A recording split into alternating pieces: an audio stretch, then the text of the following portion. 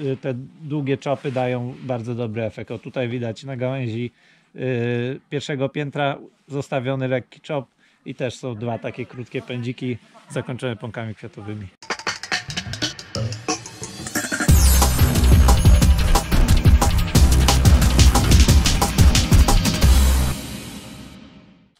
Przeszliśmy teraz do kwatery z odmianą Radiana Prince. E, Ten Prince był posadzony, jak mówiłeś, w 2015 roku, czyli ma już około 7 lat. No w tym roku będzie 7. Podkładka M9 Y, tak, M9 RN29 ta mocniejsza. i ona goldy różnią się, jeśli chodzi o cięcie od innych odmian. Powiedz, na co przede wszystkim zwracasz uwagę. Y, W Jonagoldach trzeba zwracać uwagę przede wszystkim na zapomkowanie, żeby nie, nie wyrzucić za dużo gałęzi, żeby nie było za, za mało tych pąków, bo to też później głupieje. Widać, o tutaj było jakieś rzadsze drzewo. y, Można powiedzieć, że tam było kilka jabłek na nim, bo tutaj tak trochę było przemarznięte przy budynkach, za stoisko jakie się zrobiło w tym roku. I już od razu mamy o takie przyrosty. No i z- jak byś z obciął to drzewo? jest problem. No to trzeba wszystko wyrzucić, bo to I nic- takie nic długie tego- czopy zostawiasz? tak, zostawiam na goldach szczególnie właśnie, długie czopy.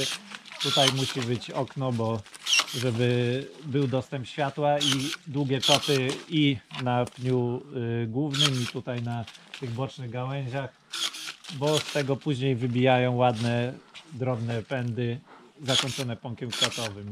A taki przykład, jak to będzie wyglądało w następnym roku, gdzie te pędy wybiją? Masz taki... A o tutaj Przykład? widać, było ucięte yy, na długi czop i mamy raz, dwa, trzy, tu cztery. Wszystko jest zakończone pąkiem kwiatowym, ale to już, to już starsze, są dwuletnie. Ale wybija też kolejny jednoroczny. Wszystko będzie zakończone pąkiem kwiatowym. Tu też u góry było w tym roku ucięte. Za rok będzie o, tu było ucięte i są ładne takie małe pędy, które zastępują. Tu y, te długie czopy dają bardzo dobry efekt. O tutaj widać na gałęzi y, pierwszego piętra zostawiony lekki czop i też są dwa takie krótkie pędziki zakończone pąkami kwiatowymi.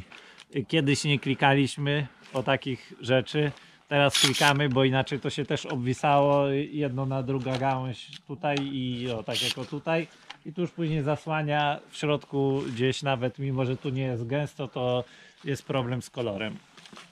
A jaka tu jest rozstawa? Yy, tu jest 4 na 1,20 m, no bo tu tak było, taka wąska działka jest yy, i tylko te trzy rządki, więc ta, tak było wsadzone, bo tylko tak wychodziło.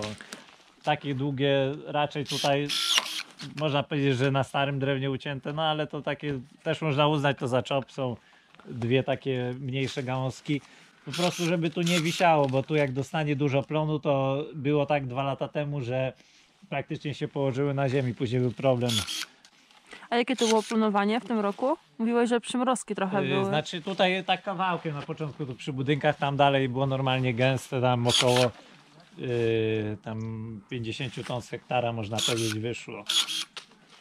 Ładne jabłko było wyrównane, takie yy, od 7 do 8 można powiedzieć. A Prince'a już sprzedaliście? Yy, Nie, część jest sprzedana, część jeszcze stoi. Tutaj yy, trochę grat przeszedł akurat na tej działce, tak przez środek działki, więc też trochę tam strat było, no ale ubezpieczone było.